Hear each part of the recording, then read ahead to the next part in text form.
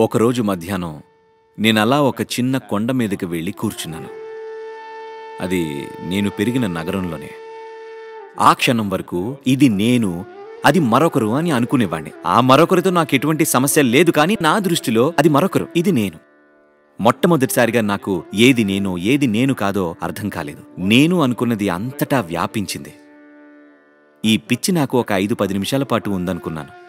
ఎప్పుడైతే నేను మామూలు స్థితికి వచ్చానో అప్పుడు చూస్తే నాలుగున్నర గంటలు గడిచిపోయాయి. అక్కడే కూర్చున్నాను. పూర్తి స్పృహతో ఉన్నాను. కళ్ళు తెరిచే ఉన్నాను. నేను అక్కడ మధ్యాహ్నం మూడు గంటలకి కూర్చున్నాను. సాయంత్రం ఏడున్నర అయింది. సూర్యుడు కూడా అస్తమించాడు. నేనేమో ఒక పది నిమిషాలు అనుకున్నాను. కానీ నాలుగున్నర గంటలు గడిచిపోయాయి. నా యవ్వనంలో మొట్టమొదటిసారిగా కళ్ళ నుండి నీరు కారి అది నా చొక్కాని తడిపేసింది. నేను కన్నీళ్ళు పెట్టుకోవడం అసాధ్యం అనుకునేవాడిని. చాలా గట్టిగా ఉండేవాడిని. నేనెప్పుడూ ఆనందంగా ఉండేవాణ్ణి అది ఒక సమస్య కాదనుకోండి బాగా జీవిస్తున్నాను. యువకుణ్ణి ఏ సమస్య లేదు కాని నేను ఒక రకమైన పారవస్యంలో మునిగిపోయాను. మాటల్లో చెప్పలేను. నా శరీరంలోని ప్రతి కణం పారవస్యంతో ఉప్పొంగుతుంది.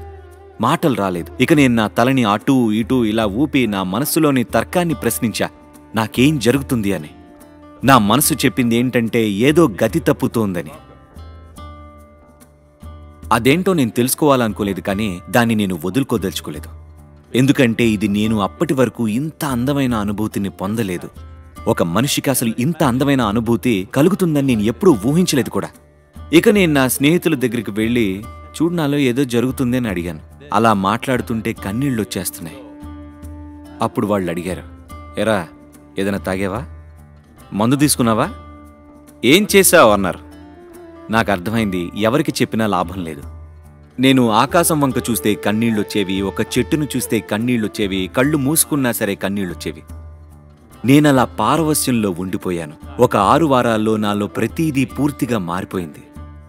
సమయం గురించి స్పృహ అనేదే నాలో లేకుండా పోయింది. ముఖ్యంగా ఈ అనుభవం మరోసారి జరిగింది. ఎందుకంటే అప్పుడు నా చుట్టూ కొంతమంది ఉన్నారు మా కుటుంబంతో కలిసి డిన్నర్ టేబుల్ వద్ద కూర్చున్నాను. నిజంగా ఒక రెండు నిమిషాలు అయిందనుకున్నాను కానీ ఏడు గంటలు గడిచిపోయాయి. అలాగే కూర్చొని ఉన్నాను. పూర్తి స్పృహతో కానీ సమయం గురించి స్పృహ పోయింది.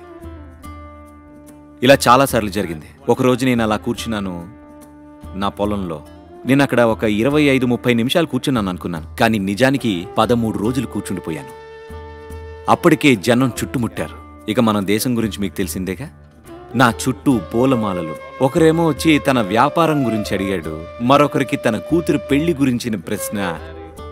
నాకు అస్సలు ఇష్టం లేనిదంతా నా చుట్టూ జరిగిపోతుంది.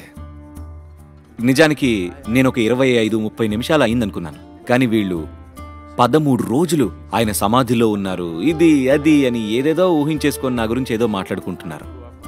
నేను ఎలా పెరిగానంటే మీకు తెలుసుగా యూరోపియన్ తత్వశాస్త్రం కామూన్ కప్కా డెస్టాప్స్కి మీరు చదువుతారా అమెరికాలో? ఆ? అయితే నేను అరవైల్లో ఉండేవాడిని మీకు తెలుసు కదా బీటిల్స్ అది ఇది. నేను అలా పెరిగాను నేను ఆధ్యాత్మికం రెండు వేరు వేరు ప్రపంచాలు. ఆ విషయాలు అస్సలు పట్టేవి కాదు నాకు. అయితే నాకు ఈ సమాధి అది లాంటి భాష గురించి ఏం తెలియదు కానీ ప్రజలేమో ఆయన ఇటువంటి సమాధిలో ఉన్నారు అటువంటి సమాధిలో ఉన్నారు. ఆయన్ని ముట్టుకుంటే ఏదో జరుగుతుంది అని లాగుతున్నారు. ఇక నేను చేయగలిగిన ఒకే ఒక పని అక్కడి నుంచి దూరంగా వెళ్ళిపోవడమే. వాళ్ళ నుండి తప్పించుకోవాలి కదా. ఎందుకంటే నాకేం జరుగుతుందో నాకే అర్థం కావట్లేదు. నేను ఈ కథను ఎందుకు చెప్తున్నానంటే ప్రతి మనిషికి ఇది సాధ్యమే. This is possible for every human being. నా కోరిక దీవెన ఇదే. ఈ మాత్రమైనా మీకు జరిగి తీరాలి. మీరు మౌంట్ ఎవరెస్ట్ ఎక్కినా ఎక్కకపోయినా ఈ భూమి మీద గొప్ప ధనవంతుడు అయినా కాకపోయినా ఈ భూమి మీద మీ అనుభవం మాత్రం ఆహ్లాదంగా ఉండాలి. మీరు ఆనందంగా జీవించే పోవాలి. కనీసం ఈ మాత్రం జరగాలి. అందరూ పొందగలరు. అందరికీ ఈ సామర్థ్యం ఉంది.